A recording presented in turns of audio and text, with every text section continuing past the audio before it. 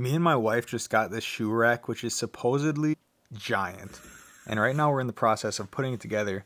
But just take a note that you will need tools to put this shoe rack together. But that's not a problem.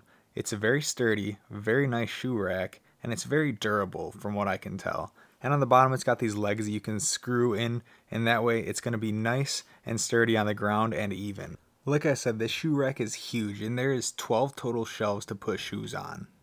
So now I put some of my shoes on for an example. I have big feet and I wear size 13 shoes and I can fit three pairs on each shelf. So now we got the whole entire shoe rack set up and it is a lot bigger than we actually expected it to be. I can barely even reach the top of the shoe rack, which is crazy. So look at it compared to the actual ceiling. This is a big shoe rack. We were not expecting this shoe rack to be this big. But we're happy that we got it because we've got a lot of shoes and it's always nice to have a big shoe rack that can fit all of your shoes. So if you're looking for a big, durable, all around great shoe rack, this would be a great option. And if you grab one, you won't be disappointed.